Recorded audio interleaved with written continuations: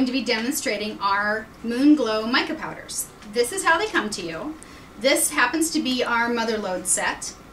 And in front of me here, so that you can see the colors, is our Sunset Blaze. And I will also be using our electrostatic cloths and our water brush and our corkboard.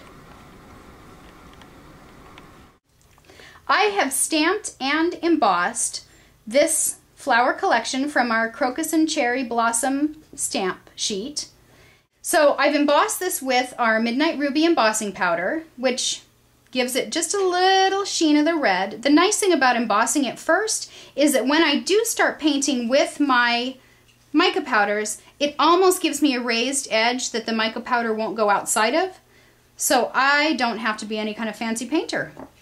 So I've got my water brush here. I'm going to squeeze a little bit of water down into the tip. And then I like to use the cap of the mica powder to just kind of get that paint nice and wet.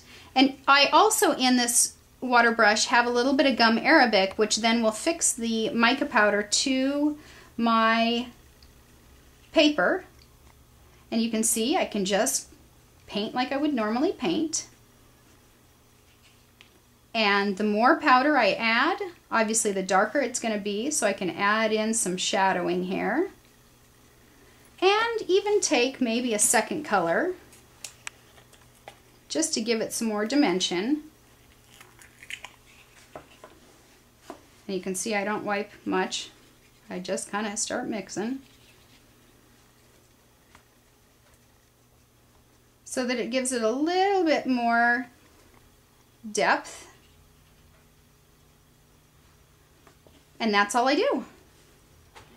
Our mica powders, once they dry, will give that secondary two-toned effect so that your project will have all kinds of depth. Stamp I'm going to be using today, it is from our Spruce and Pine Trees collection. So I've cut it out, mounted it, and used our acrylic block. And what I'm going to do is on this case, I'm going to use a black piece of cardstock and my Versamark pad. And I'm just going to do my normal old stamping. Pat, pat, pat. Stamp down on here. And if you use the cork for stamping, it gives just a little bit of cushion, which can make the stamp uh, show up just a little bit more.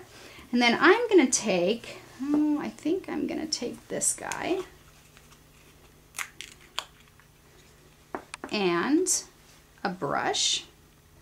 And I'm just going to take a little bit of that powder out of there and start wiping him across here.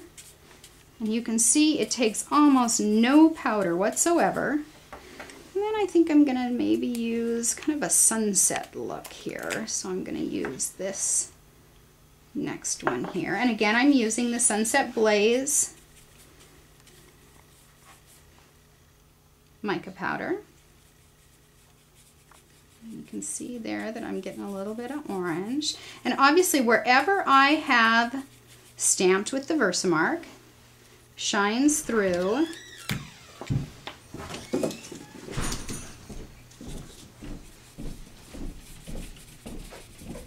Now, all that extra powder that you see on there, I use my electrostatic cloths and wipe all of the extra away so that what I have left is a beautiful, shining, almost chalk-like image.